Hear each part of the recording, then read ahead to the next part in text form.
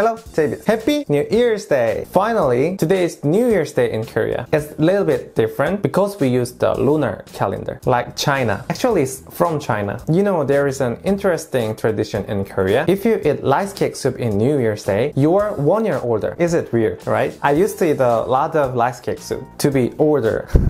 Anyway, every Korean are one year older in New Year's Day, officially in January 1st. It's natural thing for me, but I heard many foreigners think it's weird. Are you? This is called counting age system. As soon as you're born, you are one year old. And the next year, you are one year older. So our age doesn't depend on our birthday. And surprisingly, for me, only in Korea use this age system. I was so shocked when I knew that. Then why does it happen? At first, it's from China, a long time ago. And it was spread to various countries in Asia China, Korea, Japan. But now, China, Japan, and even North Korea removed this system long time ago. Only Korea use this now. So that's why foreigners call this Korean age, not the counting age. But honestly, I think this is not good. It should be changed. Why? First, if a baby born on December 31st in South Korea, the baby turns two years old just one day later. That's not make sense. That's really weird, right? My old high school teacher told me that this is the culture of respecting the babies in the mother's womb. So they count a day since the baby was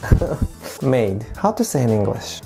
Ah. uh, but it was wrong. If it's right, every baby should be 10 months older, but it's not. The babies born in December are just being 2 years old next month. They can't explain this. It's unfair. Second, this strange age system is originated from the age-based culture. If you've ever been to Korea, maybe you know that. Koreans always ask, how old are you? 나이가 몇 살이세요? And if someone is older than you, you should treat them in formal way. 언니, 누나, 형, 오빠, blah blah blah. And the counting age system helps to make it clear. So it's hard to remove but age-based culture makes society strict. It's not good. Every people have something to learn and it doesn't depend on the age. Young person can be wise and old people can be childish too. Of course, older people have more experience, but it doesn't mean that they can be disrespectful. We don't need to be obsessed with age. You know, age is just age. Third, officially, we use the international age system. I mean legally.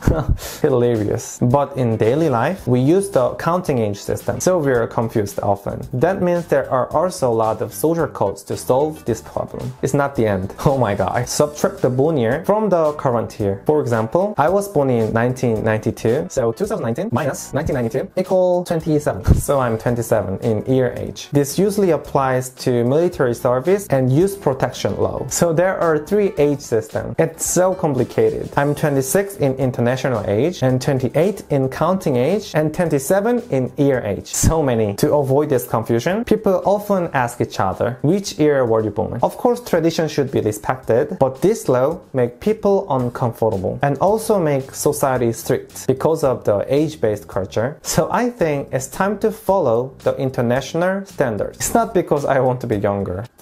Mm. Okay, today's conclusion. Let's follow the international age system, please. So I'm 26, not 28. Yes! So call me oppa, not ajashi.